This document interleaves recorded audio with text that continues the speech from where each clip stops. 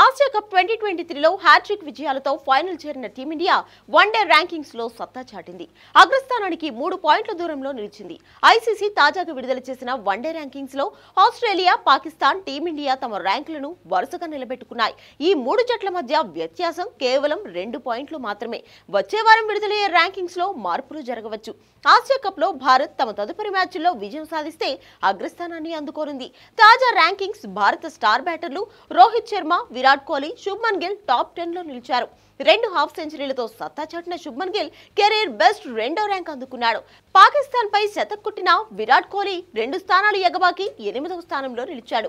Hat trick half సెంచరీలతో దుమ్మిరేపిన రోహిత్ కూడా రెండు స్థానాలు మెరుగుపరుచుకొని తొమ్మిదవ స్థానాన్ని అందుకున్నాడు. గత ఐదేళ్ళలో భారత టాప్ త్రీ బ్యాటర్లు టాప్ టెన్ ర్యాంకులు అందుకోవడం ఇదే తొలిసారి. రెండు వేల పంతొమ్మిది జనవరిలో చివరిసారిగా భారత టాప్ త్రీ ఆటగాళ్ళు టాప్ టెన్లో నిలిచారు.